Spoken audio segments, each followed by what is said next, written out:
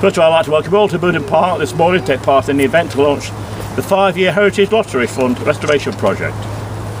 So we'll build a cafe, an education block, greenhouse on the land, which is through the fence over there, uh, and see improvements to the signage, paths and seating in the park.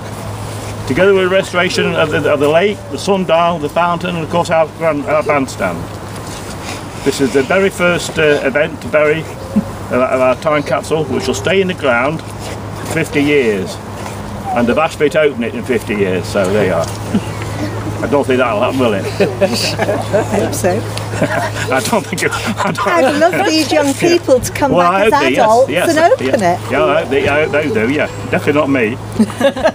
and it's going to be unearthed in 2063, which is not far away really. And perhaps some young people here today will perhaps open it. And once the cafe and outdoor seating area is completed next year, a plaque will be laid over the site of this time capsule. Now students at Francis Hill Community Primary School have worked very hard to produce some very lovely pieces of work on what the park means to them.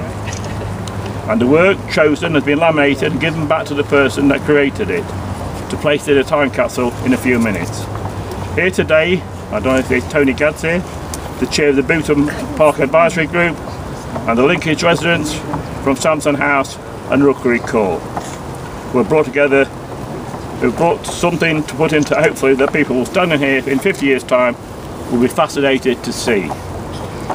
We also have a copy of the plans of the new buildings, newsletters for Linkage and the City of Lincoln Council and today's Lincolnshire Echo newspaper.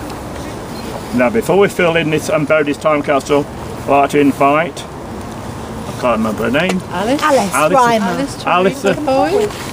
oh wow, you've got, I hope you're not better than me.